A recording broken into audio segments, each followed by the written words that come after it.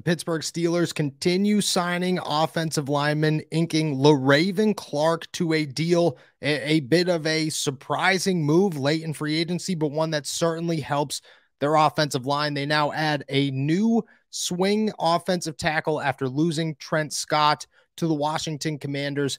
Now, Clark comes with 64 games of experience, 80 or 18, excuse me, starts throughout his career. He's a former third round draft pick for the Indianapolis Colts, spent the first four seasons of his career there before going to Philadelphia. He becomes the third Eagle, the third Eagles offensive lineman who played under Andy Weidl during his time in Philadelphia to come to the Pittsburgh Steelers. There is a clear connection here.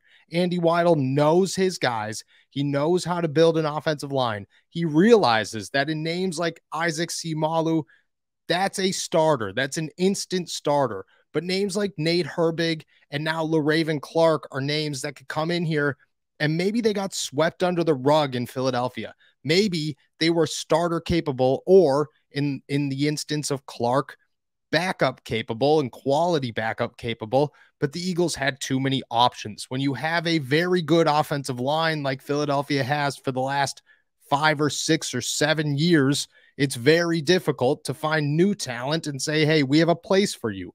Philly just didn't have that. Now the Pittsburgh Steelers are going, grabbing and reaping all the benefits of guys who did not stick in Philadelphia.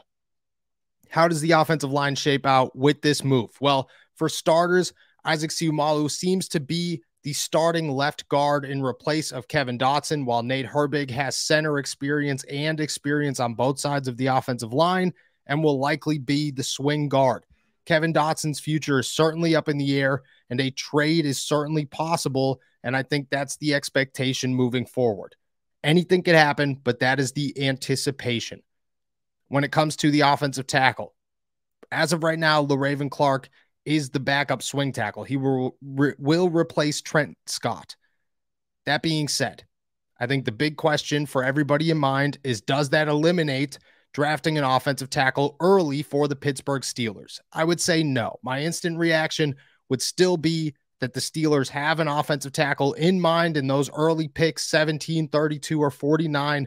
However, they also understand that not everything is scripted in the NFL draft, and they could find themselves in a situation where they don't have a guy that they feel comfortable with at 17 or at 32. And by 49, you're now looking at a deep second round pick that likely, especially in this draft class where the offensive tackles are not very deep, nor are many of them outside of maybe the top two or three, considering how you feel about Dawand Jones, are starter capable in year one. If they view it that way, they might say, hey, we'll hold off on an offensive tackle this year. We'll give Dan Moore Jr. time to develop. We'll see what happens. Le'Raven Clark is our swing guy. If not, I doubt this deal carries much, you know, standard or or too much weight to get rid of it if the Pittsburgh Steelers feel that Le'Raven Clark does not have a place on the team come the regular season. But for right now, it's a good replacement of Trent Scott. It's a good quality swing tackle who has six years of NFL experience. He's got a relationship with Andy Weidl. He's got a relationship with Nate Herbig and Isaac Seumalo. It's a good move for the Pittsburgh Steelers. It really, really shows you that the Pittsburgh Steelers are all in on ramping up their offensive line, but I do not expect it to end here.